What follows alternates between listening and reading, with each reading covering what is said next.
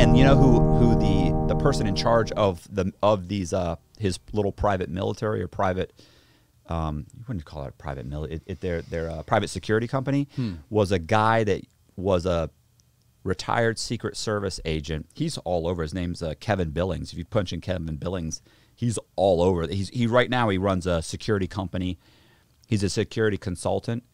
Um, another guy named Joe Robinson, who used to work for Buddy So Dyer. wait, who, this billing, this Billings guy, what's his name? Kevin Billings. Kevin Billings. He also He ran. he run Amodeo's he ran security Amodeo's company. security company. Okay. Companies, yeah. So these guys are running the company. He's also one of the guys that gets ki- that gets arrested in the Congo. Remember, he, remember the guys. Eventually, what happens is Amodeo start. He decides, look, he's got enough. He starts withhold. Here's what happens. In order to in order to fund this insane plan for world domination, he's trying to buy planes and do all these things. Like, like I said, the planes are like 60 million, right? So it's 60 million dollar purchase. So he's looking at planes. He's he's negotiating with the Cypriots to keep the planes there. He's already got Russians. You can't buy an F-14 or an F-15 um, fully armed. They, they basically call them declawing it. They strip all the guts out of it, right? So you can't buy it with missiles or even the missile equipment. But if you fly it over, Claw the bird. but if you fly it over to uh, Cyprus, They can rebuild it. the shit, Russians will come in or Holy Ukrainians will come in and they'll re-put everything back in for you. And now I got Fuck fully yeah. functional shit. So that's what he's trying to do, and he's negotiating with the uh, with the uh, Cypriots. But he needs money. You can't just take over the world. Not that I think it's. I know it's it's insane. Not that I think it's true that you could do it, but he thinks you can do it. Even the CIA guy was like, "You can't take over the world. It would take generations to be able to pull it off." He's like, "But he goes. I mean, he the CIA guy said, I've never seen someone as capable and functioning, uh, high functioning as Amodeo that believed it was possible." So what happens is he's trying to buy the planes, he's trying to do all these things, he's negotiating, but you need money to do that, right? He's got a ton of companies, but one of the ways he he figures out how do I I get the money to buy all the, to do all this stuff. Well, here's what happens is you understand payroll.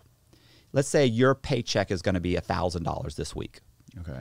So the company is going to send, you're going to get 1,000. dollars They're going to mm-hmm. withhold $200, right, for the IRS. Mm-hmm. So who who sends that money to the IRS? A thousand and probably more like five hundred. Okay, let's say let's say it's 300. so you're supposed to get so that means the company keeps 300 bucks, right? Right. They keep 300 from me, 300 from you, 300 from all he's got 40,000 employees paying 300 bucks that's supposed to go to the IRS. What does he do? He stops sending it to the IRS. No. Mm. And that's why it slowly grows and grows until it's almost two hundred million dollars. And he's using the money to back, to buy planes, to buy all kinds of stuff. Wow. He's doing just good stuff, right? And here's the Hell thing: yeah. Here- Capable. Here's how you how you do that, by the way, which is legal. I have a company. All I have to do is report to the IRS. Hey, IRS, we owe you $120,000 this week. We have the money, but we're not sending it to you right now. We're holding it because we're having we're we're considering going into bankruptcy or we're going into bankruptcy and you're just a debtor. So I can't I'm I'm holding the money. We don't have the money to send you, but we do owe it to you. Just like if you're of any vendor that I owe money, I, we Right. bought a bunch of equipment, we're making payments to you. Guess what? We can't make the payment this month, but we know we owe it to you, and you may be included in our bankruptcy. Right, okay. You can't come get your shit. Right.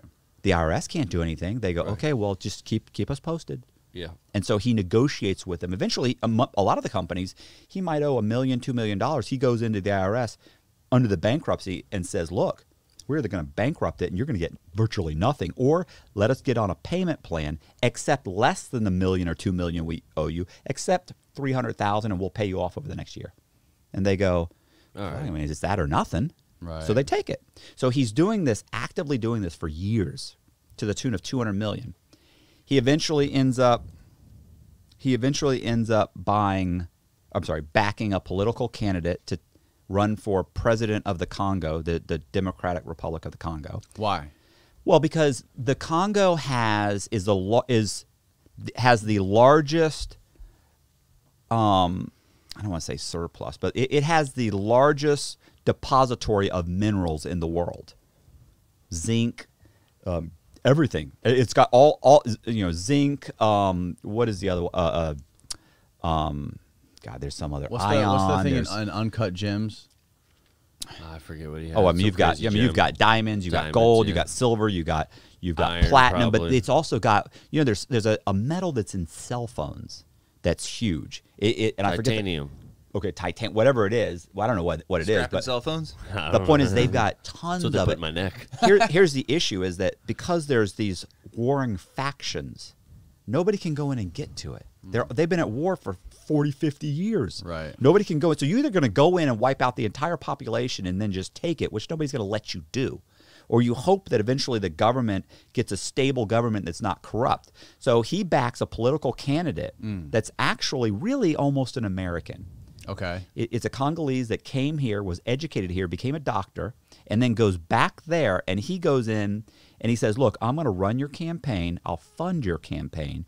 I'm going to provide security for your campaign. But once you're president, you have to adopt capital genesis, which is my idea of how we're gonna we're gonna structure the entire economy. Now he knows that very quickly the economy will, you know, it'll it'll stabilize, and then he'll be able to go into other countries. He also plans on building the largest military in history. He's already got. He's already negotiating. He at this point he was negotiating with the um the World Bank. No, not the World Bank.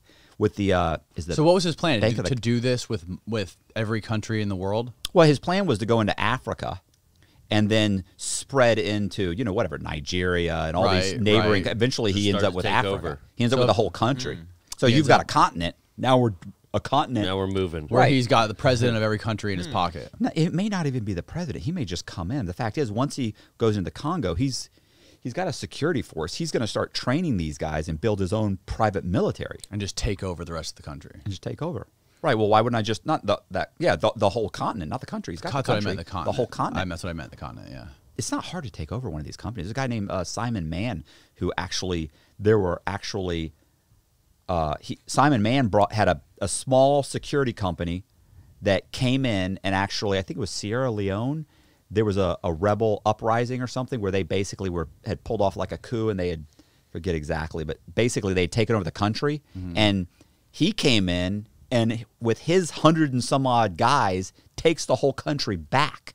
Like they had taken the oil fields and everything. He comes in and take. There's a whole documentary on it. Yeah. That's what they thought Amodeo was. They thought he was a Simon Mann. That was an hmm. issue for them because it was like a year earlier that had happened when he goes into Congo.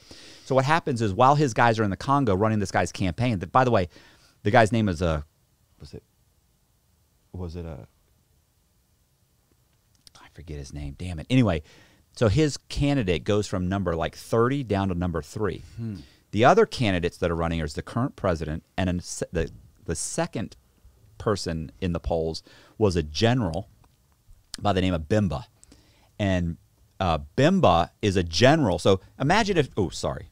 Imagine if George, if uh, if Schwarzkopf was was general of the of the military and also running for president.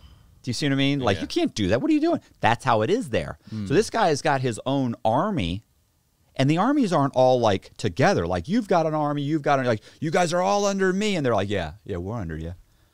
You know, you keep sending us money and feeding us and everything. We're gonna stay here, and we're gonna, you know, it's not it's not exactly like you're saying go over there, and they're like, well, why would we go over there? Why would we invade them? I mean, you, it's a discussion. This is a this isn't this isn't like it is in the United States. Right. So he was running for president. They realized that this candidate is coming down uh, in the polls, and he may end up winning the presidency. So Bemba ends up grabbing thir- all 32 of Amodeo's security staff, and they grab them and arrest them, and they bring them to a military base, and they hold them for nine days, while Amodeo negotiates and the State Department negotiate to have them released. And it's a whole thing. The CIA's involved. Um, it's it's it's a whole. It's a actually there's a documentary. Yeah. Nine days in the Congo. Nine days in the Congo. It's on my channel. Go to my channel, Inside True Crime, Matt Cox and Inside True Crime, and you can watch Nine Days in the Congo. Huh? Go it's do it. great. Check it is. it It out. is. It's great, and you can see Amodeo. There's interviews with Amodeo. He's great. He's like five foot four. He looks like the little Caesar guy. He's Is he, amazing. is he taller than you? No, I think I, I, I think I'm about an inch taller than him. I, Got him on an maybe inch. in, maybe two inches. Is that why with you a guys with a good pair so of well? shoes? With a good pair of shoes, for sure, I'm taller.